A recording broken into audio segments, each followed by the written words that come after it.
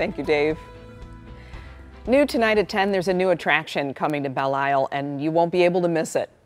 7 News Detroit reporter Jasmine Barmore introduces us to the team designing a giant megaphone to amplify Belle Isle. I'm sitting inside a seven foot tall megaphone. It's being built by students from the Atlantic Impact Grow Detroit Young Talent Program. They're putting the final touches on it today, and when it's complete, it'll be the second one in Michigan and the newest attraction on Belle Isle. That sound is from the boards being put into place to enclose the megaphone. Basically, what we're doing is we're putting a series of pie cuts of cedar into these. Basically, to make the boards grow with the megaphone. This megaphone is a rare build from others, according to Nino Tanzini, the lead instructor on the project. He says most megaphones are made with the Newell horn going from wide to small, and this one is the opposite. Nino says the students have put in a lot of work to complete the project, and some had no carpentry skills before. Students had no idea what a hammer was.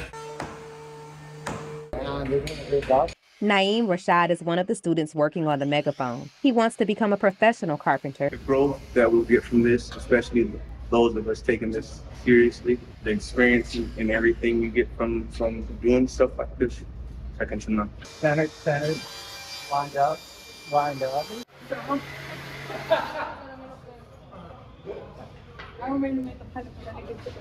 What part of this are you building? Uh, this meg- I think this is this the top or the bottom. I think that's the type of, uh, top of the mega.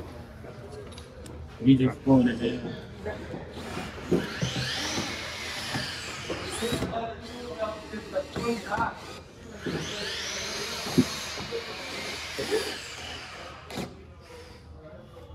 And even I took a stab at the building.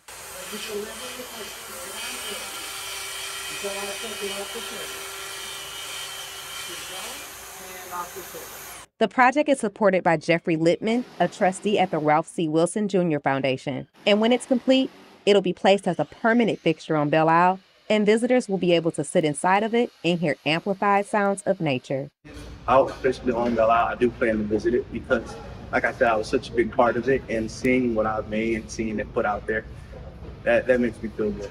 Now, if you want to come check out the megaphone once it's all complete, it'll be placed right here at the Belle Isle Nature Center sometime in the fall. In Detroit, I'm Jasmine Barmore, 7 News Detroit.